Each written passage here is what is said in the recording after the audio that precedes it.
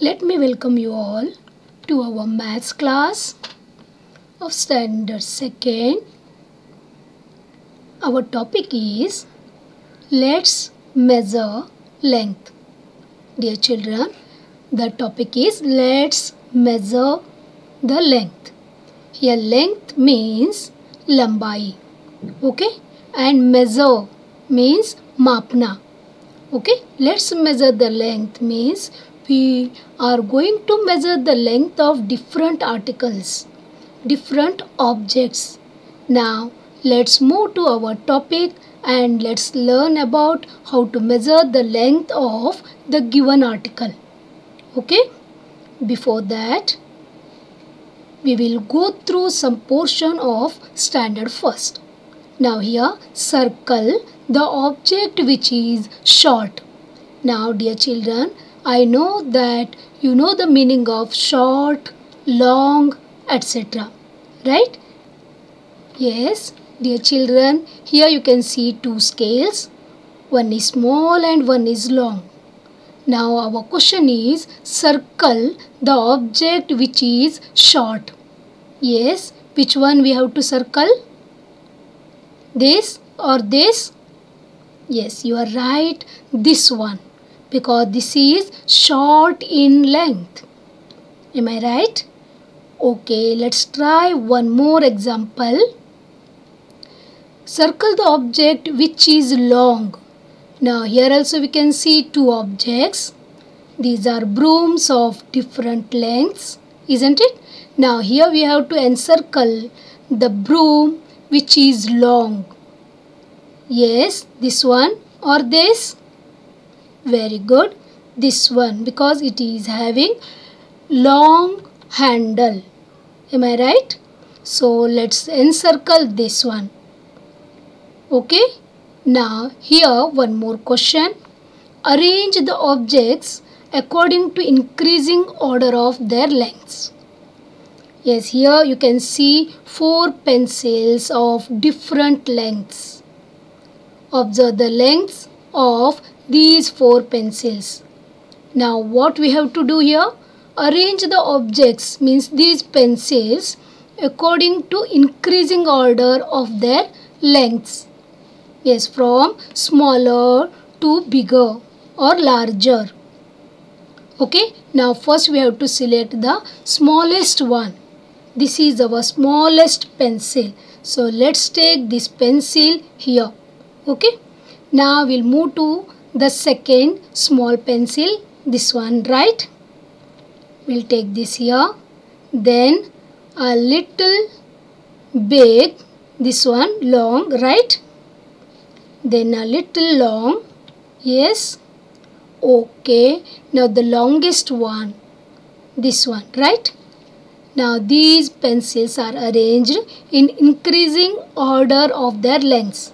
Means from smallest to biggest or tallest isn't it? Okay. Now we'll move to our today's portion. This is a house of Yash. Yash parents told to buy a table for studies okay and to keep here. Now here place is available for the study table Yash wanted to buy a study table, but he wanted to measure the place available for the study table, means place from cupboard up to door. Now, what to do now? How to measure the place or space available for the study table? He got an idea. He brought one stick and he used this stick to measure the space available here. See how he measured. See this is one stick distance. Two, three, four. Means he has place of four stick lengths for the study table. Okay, means he can purchase the four stick length study table to keep here. Okay, that is the maximum place. Am I right? Now he went to the shop and he saw two sticks length table. see 3 sticks length table 4 sticks length table and 5 sticks length table. Okay? He got different lengths table. Now what he did? He thought about the two stick table to keep in this place but he thought that this is very small compared to the space available. So next he thought about the three sticks table means three sticks length okay? Remember this? Okay this is also he found smaller right? Now he thought about the four stick length table. Yes. See here. He thought it's good. Nice. He can make the project work on this table. Okay. Then afterwards he thought about 5 sticks length table.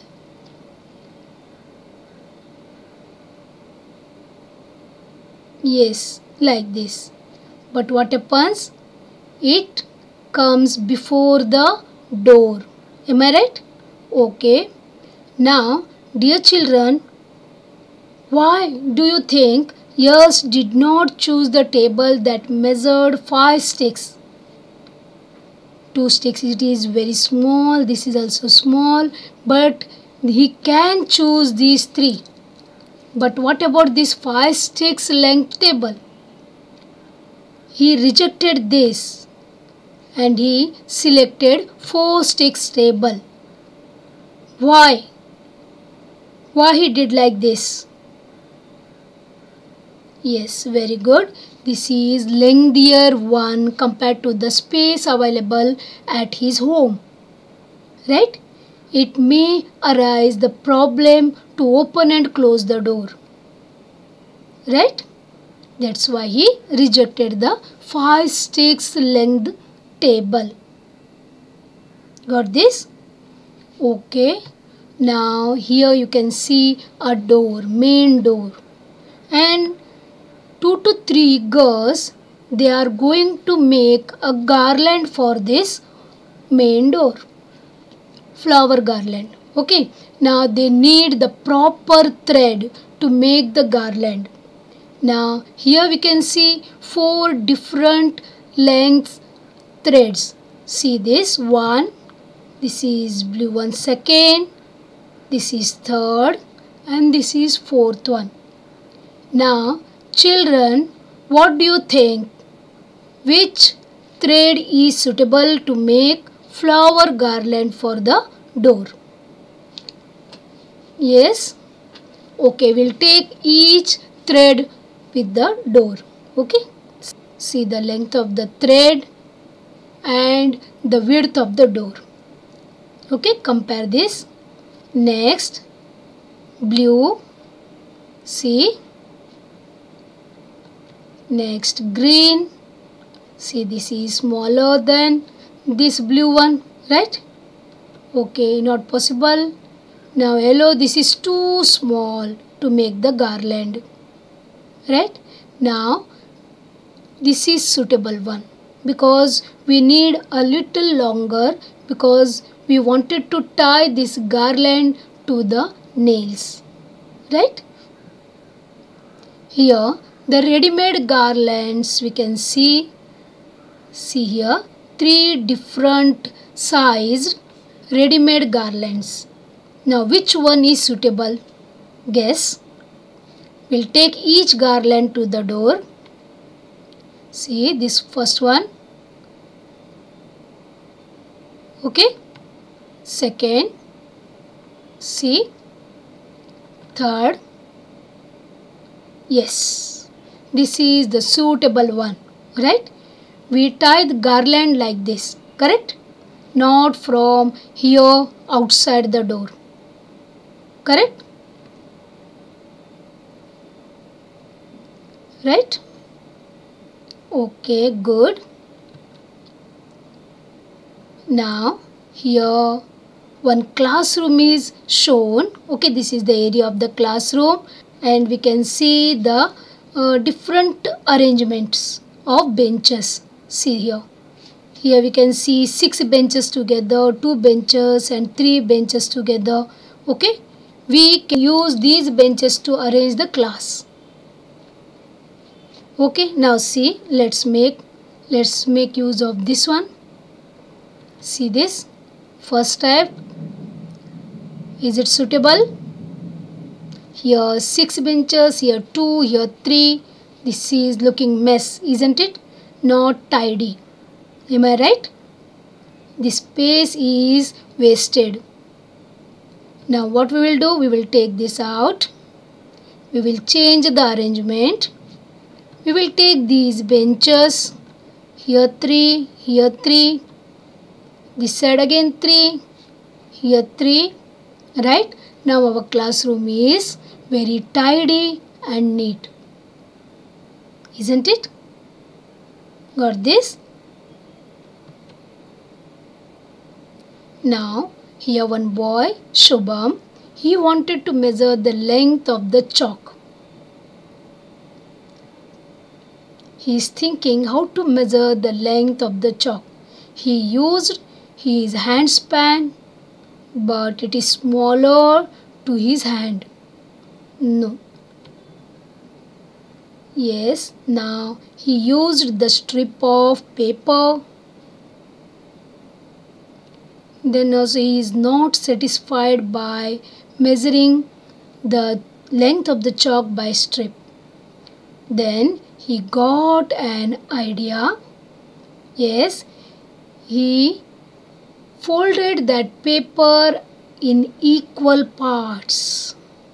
See, now he numbered the parts 1, 2, 3 and 4 and said that this chalk measures 4 equal parts of this strip. Yes, Dear students, let us measure some more objects by using this method. Okay, measure the length in units. Now, we'll take one one item one time. Here you can see the U-clip. This is the paper strip of equal parts. We'll number the parts. See here, the U-clip measures 2 units. Correct? Now second thing is the color tube. How many parts it measures? See here 4 units. Got this children? You also can make the paper strip like this by folding it equally. Okay? So it gives equal parts. Now our third object is eraser. It measures, see here, 3 units right? This is a very good activity of measurement. And this is our gum stick. It measures yes see the parts 5 units. Right? Okay very good. Now a pencil. Will measure the pencil. Okay? One two three four five six 7 units right? It measures 7 units. Now here you can see two children. They are in front of the open gate. And open gate has two doors.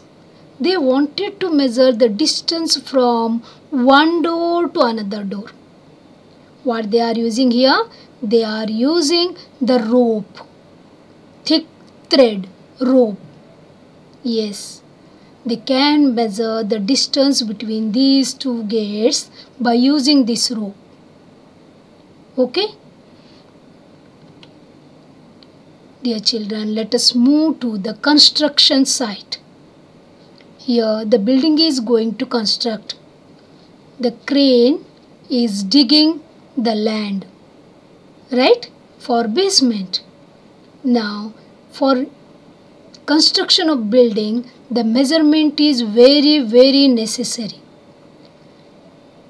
during this construction the workers, the engineers, the architects, they measure each and in every step.